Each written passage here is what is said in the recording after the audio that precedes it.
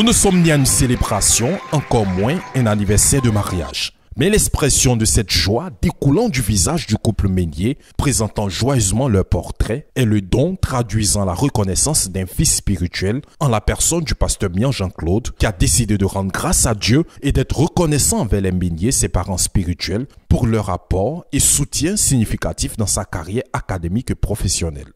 D'enseignant au lycée qu'il était, aujourd'hui c'est un docteur et enseignant-chercheur à l'université. Une promotion riche en instruction qui est le fruit de l'exaucement des prières élevées à Dieu et la récompense du travail dur. Alors, ce samedi 10 février au centre de Makori, le couple Mian, accompagné des dirigeants de la zone, ont décidé de remercier le Seigneur pour cette promotion à travers une cérémonie d'action de grâce en invitant spécialement le couple Meunier et quelques-uns de leurs collaborateurs. Cette rencontre était une rencontre d'action de grâce pour remercier le Seigneur de ce qu'il a fait pour nous en tant que couple. En effet, lors du dernier recrutement des enseignants-chercheurs, j'ai été recruté en tant qu'enseignant-chercheur à l'université de Koulibaly de Korogo. Il était donc euh, nécessaire pour nous, en tant que couple, d'organiser cette journée d'action de grâce pour dire merci à Dieu de ce qu'il a permis que nous soyons enseignants-chercheurs. C'est Dieu qui a ouvert cette porte-là. Il ne fallait pas être un insensé. C'est ce qui nous a motivés à organiser cette rencontre d'action de grâce. Et nous avons invité le, le couple Meunier et bien entendu le secrétariat du couple Meunier qui sont venus pour qu'ensemble nous disons merci à Dieu. Merci à Dieu parce que le pasteur Meunier et sa femme nous ont vraiment aidés à atteindre ce niveau-là. C'est sur le conseil que nous avons poursuivi les études et sur le conseil que nous avons continué. Et c'est par les prières qu'ils ont élevées à Dieu que nous avons été recrutés.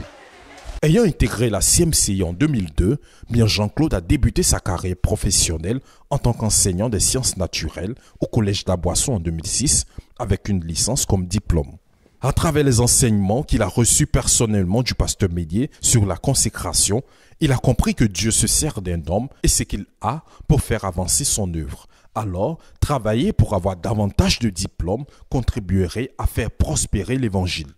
À cela s'ajoute l'impact significatif du ministère rendu par le pasteur Colette Ménier, appelé affectueusement Maman Colette, qui après une veille en 2010, s'appuyant sur l'épouse du pasteur Mian qui avait déjà le doctorat en médecine, lui a demandé et même exigé de poursuivre les études jusqu'au doctorat.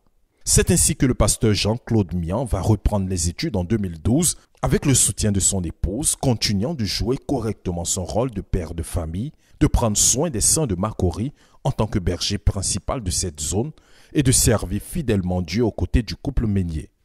Le 29 octobre 2022, après plusieurs années de défis, le pasteur Mian obtient son doctorat en physiologie animale, phytothérapie et pharmacologie.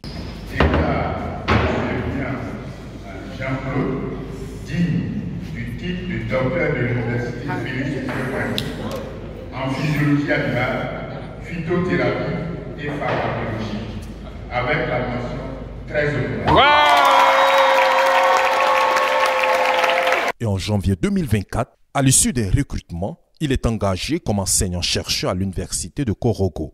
Ainsi, le Seigneur Jésus a été célébré ce samedi à travers un riche programme marqué par des témoignages, une belle ambiance musicale, les dons offerts par le couple Mian et les saints de Makori au Meunier, leurs enfants et quelques-uns de leurs collaborateurs, témoignant ainsi de la reconnaissance qui leur est due.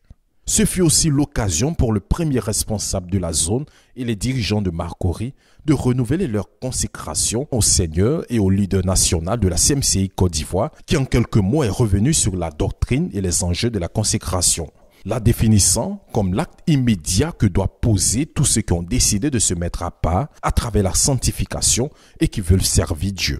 Ainsi, la consécration se fait principalement à deux niveaux, à savoir la consécration à Dieu et la consécration à l'Évangile.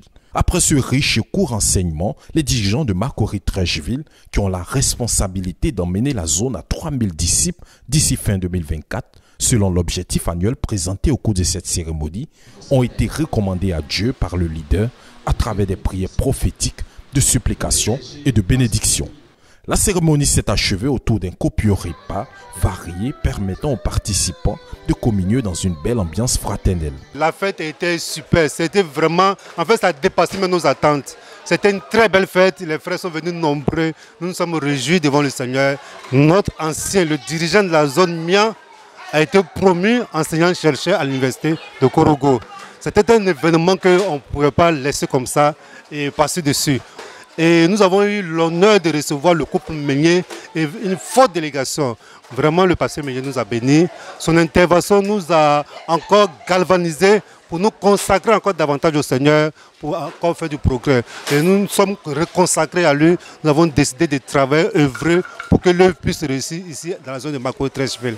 J'ai trouvé la cérémonie dans l'ensemble très belle et l'intervention du pasteur Meunier vraiment nous a nous a galvanisé à pouvoir bien travailler encore dans ce que nous avons déjà commencé à faire. Avec un tel message, ça me pousse encore à travailler davantage pour que le royaume de Dieu avance.